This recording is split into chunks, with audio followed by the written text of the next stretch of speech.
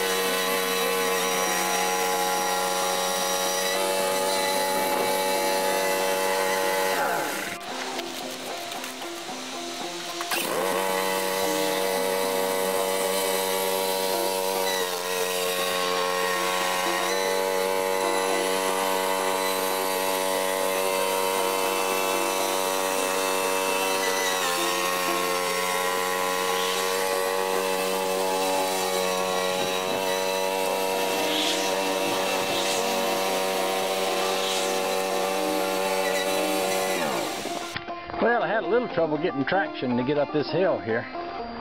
Hate when that happens. So, I did want to show y'all how neat this little trailer I got from Dead Eye Dan works for a kind of a little dump trailer. I brought that dirt up here and I'll just go dump it out.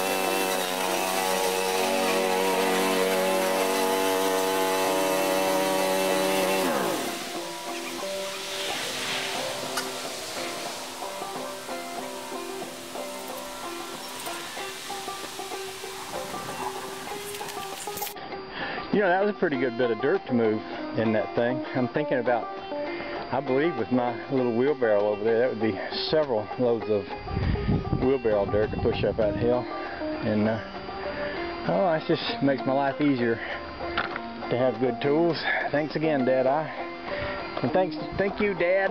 My dad bought the John Deere. And uh, when he passed away, I brought it home and uh, Dad, I gave him the trailer. So, with the gifts of good friends, we get things done around here, don't we, Charlie? Charlie would love nothing better than to get out the gate, because then he could go chase cars out in the road. And that's probably a lot more fun than anything he can think of else to do. Right, Charlie?